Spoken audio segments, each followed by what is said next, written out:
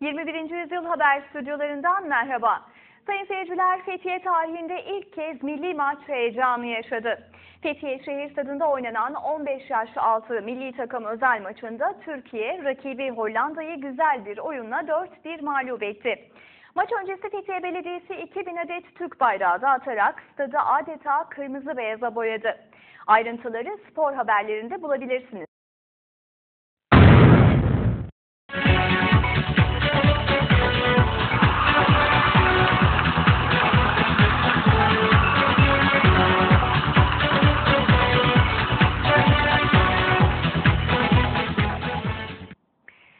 Fethiye'de ilk kez milli maç heyecanı yaşandı sayın seyirciler. Fethiye şehir stadında oynanan 15 yaş altı milli takım özel maçında Türkiye rakibi Hollanda'yı güzel bir oyunla 4-1 mağlup etti. Maç öncesi Fethiye Belediyesi 2000 adet Türk bayrağı dağıtarak şehir stadını adeta kırmızı beyaza boyadı. Maçı efsanevi golcü Tanju Çolak'ın da izlemesi seyirciler tarafından büyük alkış aldı.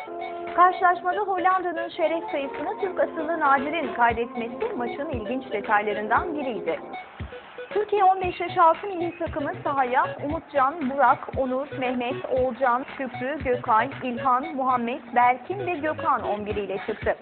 46 dakikadan iki devre oynanan maça her iki takım da kontrollü bir oyunla başlarken seyirci desteğini arkasına alan Türkiye U15 takımı 26. dakikada Gökay'ın golüyle durumu 1-0'a getirdi.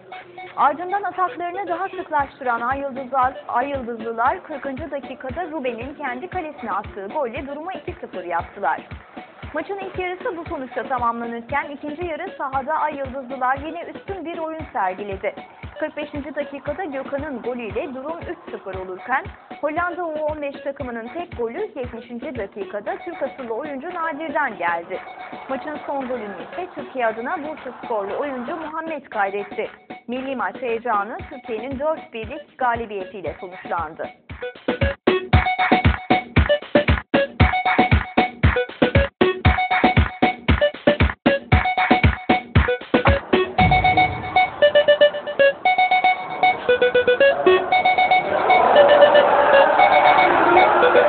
Thank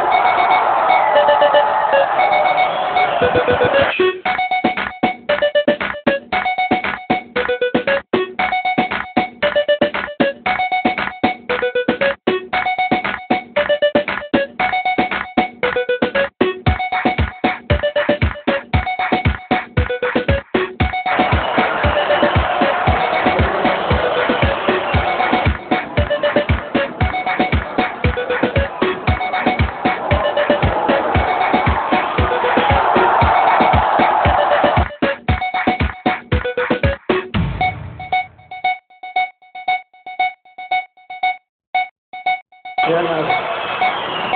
Thank you.